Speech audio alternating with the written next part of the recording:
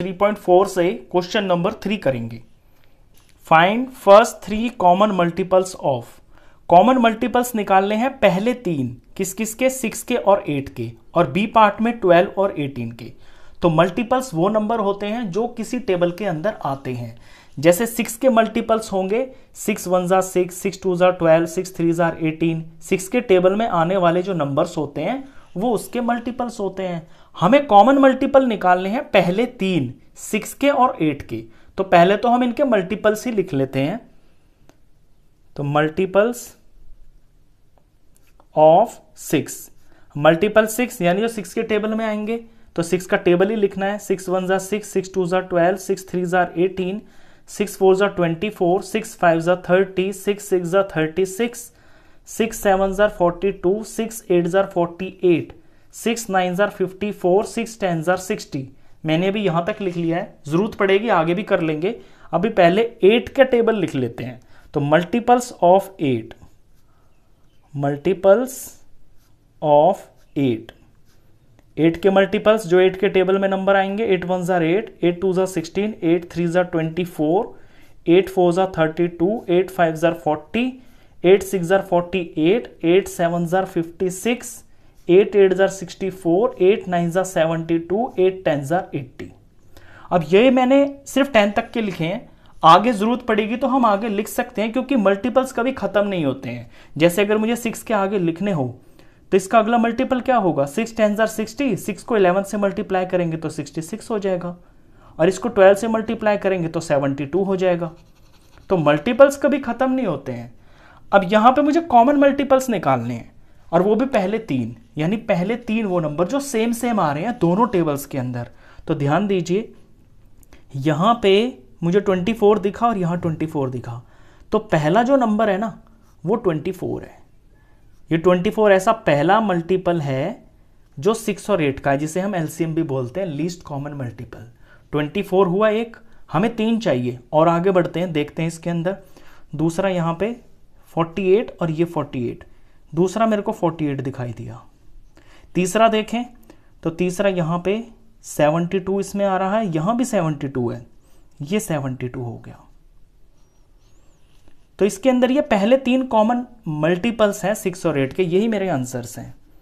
तो आंसर हो गया है 24, 48 और 72 मुझे तीन ही निकालने थे तो मैंने बस यहाँ तक किया है। इससे आगे निकालने होते तो आप इस टेबल को आगे बढ़ा सकते थे, सिक्स के टेबल को भी और एट के टेबल को भी। अब ये तो एक तरीका है। इसका मैं बिल्कुल आपको आसान तरीका भी बताता हूँ कि अगर आपको दो, तीन, चार, पाँच, छह कितने भी मल्टीपल्स दे रखे हों और बिना टेबल को आगे बढ़ाए, बहुत लंबा किए भी आप कैसे मल्टीपल्स बता सकते हैं तो वो तरीका आप ज़रूर देखिए। वो क्या है? कि आप सिर्फ़ पहला कॉमन मल्टीपल निकाल लीजिए। जैसे मैं इस टेबल को यहीं पे छोड़ देता हूँ। लेट सपोज़ मैं यहाँ छोड़ दूँगा इसको। मुझे पहला मिल गया ना? मुझे पहला कॉमन मल्टीपल मिल गया 24 तो आगे मुझे टेबल लिखने की ज़रूरत नहीं पड़ेगी। तो पहला नंबर तो हो गया है मेरा 24 अब इससे जो नेक्स्ट होगा ना, वो इसका डबल होगा, यानी इंटू टू वो 48 होगा। सेकेंड कॉमन मल्टीपल और जो थर्ड कॉमन मल्टीपल होगा वो 24 का थ्री टाइम्स यानी 24 फोर थ्री ज़ा सेवेंटी और अगर इसमें चौथा भी पूछ लिया होता हमसे तो 24 फोर इंटू फोर यानी कि 96 तो बिना टेबल को आगे बढ़ाए, हम कितने भी कॉमन मल्टीपल्स बता सकते हैं? बस हमें पहला पता चल जाना चाहिए।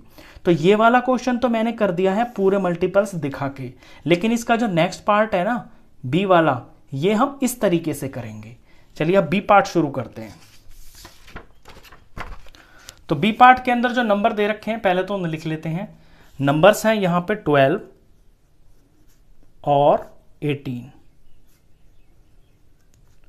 अब मैं लिखता हूँ मल्टीपल्स ऑफ़ 12 और मैं सिर्फ़ वहीं तक लिखूँगा, इन दोनों के मल्टीपल्स में वहीं तक लिखूँगा जहाँ मेरे को पहला मिल जाएगा और मैं वहीं पर रुक जाऊँगा। मल्टीपल्स ऑफ़ 12 तो 12 वन ज़ा ट्वेल्व हुआ 12 टू ज़ा ट्वेंटी फोर हुआ 12 थ्री ज़ा थर्टी सिक्स हुआ और 12 फोर ज़ा फोर्टी एट हुआ। और आगे मल्टीपल्स चलते रहेंगे, कभी ख़त्म नहीं होंगे। अब 18 के लिख लेते हैं। Multiples of eighteen eighteen one jar eighteen हो गया एटीन टू जार थर्टी सिक्स हो गया। देखिए, मुझे 36 मिल गया। ऊपर 36 है, नीचे 36 है। अब इसके आगे मुझे टेबल करने की ज़रूरत नहीं है। मुझे पहला कॉमन पहला कॉमन मल्टीपल मिल गया है।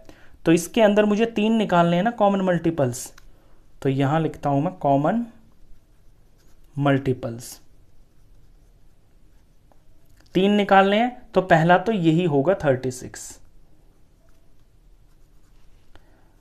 और जो दूसरा कॉमन मल्टीपल होगा इनके अंदर वो होगा 36 सिक्स इंटू टू यानी 36 को टू से मल्टीप्लाई करेंगे तो 72 अब अगर आप टेबल बढ़ाएँगे भी ना इन इन दोनों टेबलों को आगे बढ़ाएँगे तो 72 72 आपको सेम मिलेगा। और इसका जो तीसरा कॉमन मल्टीपल होगा, वो होगा 36 six into three thirty six को थ्री से मल्टीप्लाई किए तो ये आएगा सिक्स थ्री ज़ार एटीन का एट और ये वन और नाइन और ये टेन वन हंड्रेड एट तो जब भी आपको कॉमन मल्टीपल्स निकालने हो तो ये ज़रूरी नहीं है कि आप पूरा का पूरा टेबल लिखें। बेस्ट मेथड यही होता है कि आप सिर्फ़ पहला पहला कॉमन मल्टीपल निकाल लें उसके बाद उनको टू से मल्टीप्लाई करेंगे तो दूसरा आ जाएगा, तीन से करेंगे तो तीसरा आ जाएगा फोर से करेंगे तो फिर नेक्स्ट फोर्थ और फाइव से करेंगे तो पांचवा कॉमन मल्टीपल आ जाएगा। तो ये तरीका होता है। तो इस वीडियो में बस इतना ही। नेक्स्ट क्वेश्चन के लिए मिलते हैं नेक्स्ट वीडियो में। तब तक के लिए गुड बाय